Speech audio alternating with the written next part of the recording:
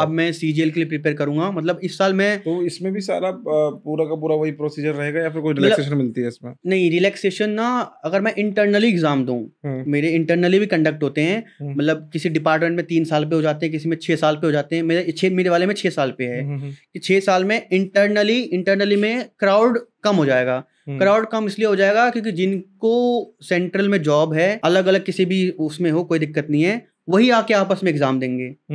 तो वो internal exam हो जाते हैं उनके। तो वहाँ पे थोड़ा पॉपुलेशन थोड़ा छट जाता है कि मतलब मान लो कोई रिटायर हो गया किसी ने वॉलेंट्री अपना कर लिया होते कि मतलब वॉलेंट्री भी कर लेते हैं कि आपको साठ साल तक नौकरी करनी है किसी ने फोर्टी टू ईयर्स में अपना हम्म, निकाल लिया पी एफ़ लेके चला गया पूरा अपना। हम्म, हम्म, तो ऐसा वैकेंसीज निकल जाती है पूरी। तो ये ये वाला इंटरनल करवा देते हैं वो लोग। तो छः साल पे इंटरनल होता है तो उन्होंने बोला कि अगर मैं छः साल पे दूँ तो क्योंकि अभी मुझे मुझे लग रहा है दो अढ़ाई साल हुए हैं मुझे।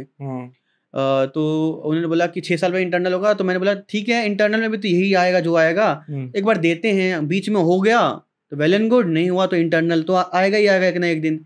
तो मैं वही अब सीजीएल के लिए प्रॉपर प्रिपेयर करूँगा। हम्म, उसका भी वही है मतलब है उतने ही पार्ट उसके भी।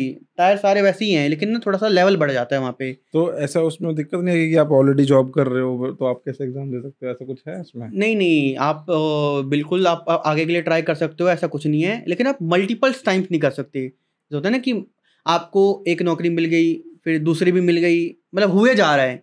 एक मिल गया आपको दूसरा भी मिल गया तीसरा भी मिल गया चौथा भी मिल गया पांचवा भी मिल गया तो ऐसा बार बार मिल रहा है और आप ज्वाइन नहीं कर रहे उसको तो उस केस में फिर आपको नहीं करने देंगे आपको अप्लाई नहीं करने देंगे वो लोग। तो जैसे मूवमेंट पे आपका एस एस सी सी जी हो गया जैसे कि क्लियर हो गया। हम्म हम्म। तो आपको फिर यहाँ से वो लीव करना पड़ेगा फिर उसको ज्वाइन करना पड़ेगा? हाँ यहाँ पे मैं पूरा रिजाइन करूँगा प्रॉपर रेजिग्नेशन होगा मेरा यहाँ पे।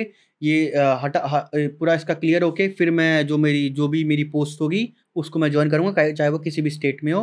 हम्म, तो मुझे यहाँ से पहले रिजाइन करना पड़ेगा तब जाके मैं वहाँ पे ज्वाइन कर पाऊँगा। कर सकते हो मतलब स्कोप है पूरा पूरा। हाँ